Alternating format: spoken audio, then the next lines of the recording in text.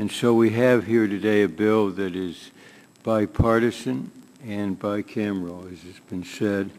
And I think we all join in congratulating Mr. Davis and Mr. Doggett, Doggett for their leadership. And uh, with that spirit, I would like to yield the balance of my time to the ranking member, Mr. Doggett. Uh, Thank you, Mr. Levin, and my thanks to Chairman Camp and Chairman Davis. You know, the, uh, the joy that my wife Libby and I feel uh, each time we're home in Texas with our three young granddaughters makes it incomprehensible to us, as I think it does to most Americans, how anyone could abuse their child. But our daughter, who is a physician and heads a clinic uh, for the uninsured, and her husband, a pediatrician there in Austin, have seen personally and told us about some of the tragic instances of abuse and neglect of our youngest Texans. Indeed, uh, over 700,000 children across America each year are confronted with this ugly reality.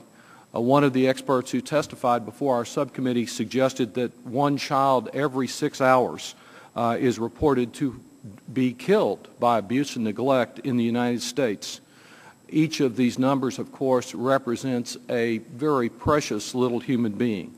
The bipartisan bill that we have worked on in our committee uh, extends and improves uh, some of the policies that will help increase the ability of the states to respond to our at-risk children and respond to child abuse.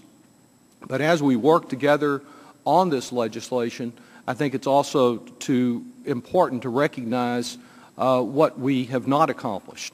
Of the children that are found to be victims of abuse and neglect in America today, 40% never receive any kind of follow-up service or intervention. We have a foster care system that provides federal assistance, but it provides that assistance to less than half of the children in America who are in need of care due to the eligibility system that is woefully out of date. These challenges require much bigger responses in the future, and some of these responses come from assuring that the social services block grant remains strong, uh, and it's troubling that they're uh, impacted in a negative way by the discontinuation of the TANF supplemental grants. In fact, uh, children are now more likely to be poor than in any other age group.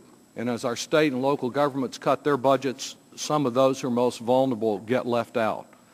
The bill before us reauthorizes the child welfare services and promoting safe and family safe and stable families programs for the next five years. Uh, it provides uh, $700 million per year to fund child protective services.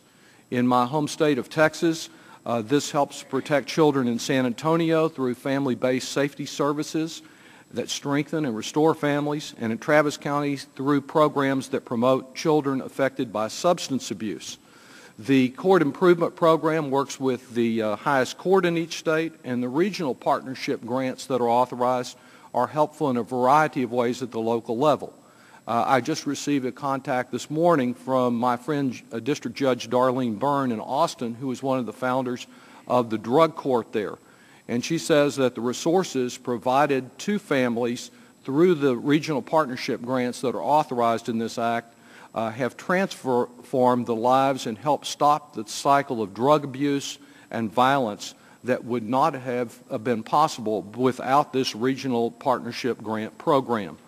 Uh, the legislation also answers better supervision of, uh, I hope it assures, but it answers the need to uh, provide better supervision of children who are prescribed psychotropic uh, medications to address their health care needs, this additional supervision will help ensure that these medications are only prescribed uh, when they are necessary. Uh, it, uh, the, the, legislation improves the sharing of data. As the chairman mentioned, this is very important. It's been a particular interest of Chairman Davis. Uh, just as data sharing can detect individuals who should not receive benefits, it also can be used to improve outreach to Americans who are eligible for assistance but are not receiving it.